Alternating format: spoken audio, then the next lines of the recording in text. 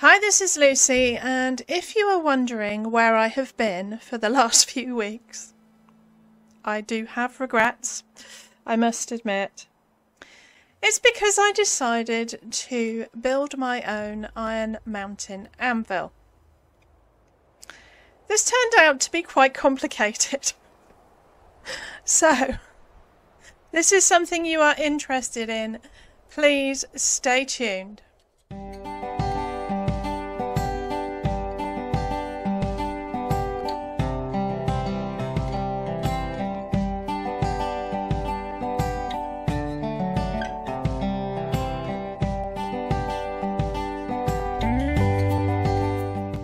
So this is the Iron Anvil prefab. Iron Mountain Anvil? I can't even remember what it's called now. It is a really nice prefab. It's very attractive. It's got a lot of nice detailing on it. You can't unfortunately shut these shutters. It is two and a half wide at the base, um, but the top part is only too wide.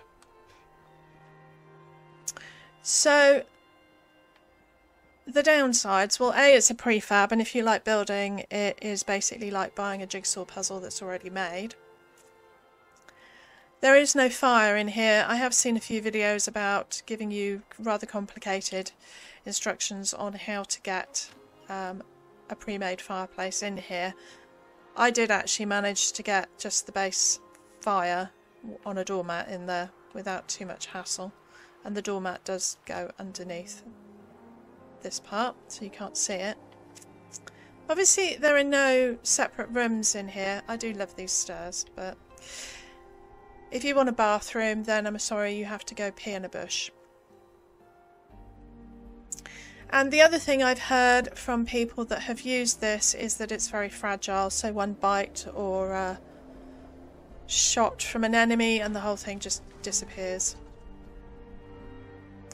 I have that thing going on where you have one enemy every five minutes. I've This is the second take of this because I just kept... So hopefully that was the last one. So this is my version of it. Obviously I only made it too wide. I have tried to replicate most of the sort of detail in it. If you're wondering why it was so complicated, this foundation has six walls on it, two at the bottom and four on the top. So yeah, it, it was very complicated. And when I originally built it, I thought there's no way I would be able to do a build video of this. And then me being me, I have absolutely no patience for all those people that say I'm patient. I'm actually incredibly stubborn. Um, decided I was going to do it, try it anyway. So eight videos later, hence me being missing for three weeks, I have done a build video. It is over an hour. So I'm going to release the build video as a separate build video so you don't have to even, you know, pretend to sit want to sit through it if you don't want to. Overall, I am fairly happy with it. Um, I have learned quite a few tricks in this. I didn't know that you could put two walls under here. It means having different height foundations. The build order is, is ludicrously insane. Um, I have put these pavilion roofs under here. I have overlapped the roofs so that they are only one and a half here. Like on this one, the roof on this side is higher. If you wanted to make it even more insanely complicated, I guess you could overlap your foundations to make it two and a half wide at the bottom. Although I think you would struggle to get the underpinnings on. So we have this nice tyre path.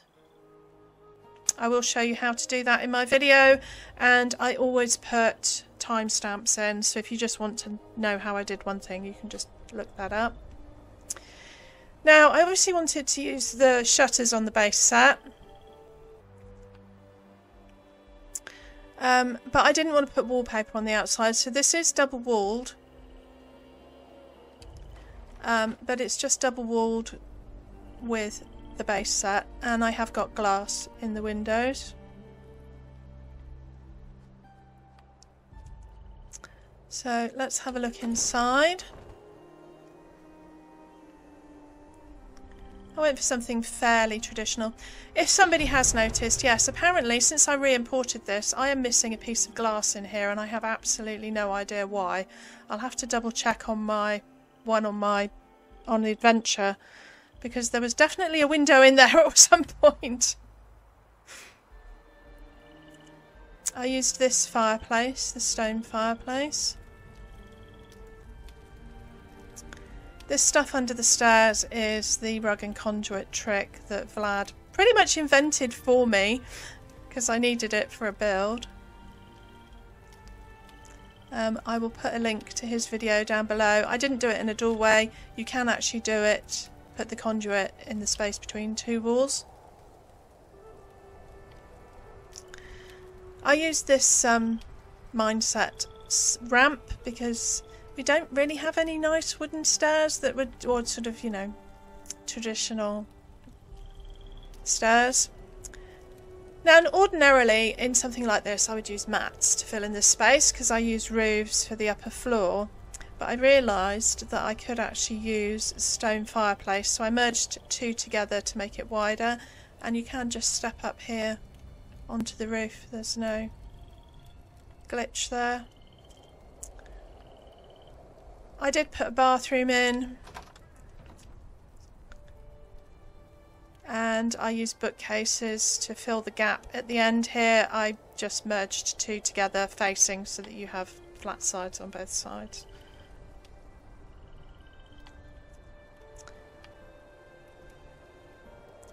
This dormer was a bit complicated um, because obviously if you just use the one window which would be in the middle you you wouldn't have a window here. So I used the three that come with the contemporary set.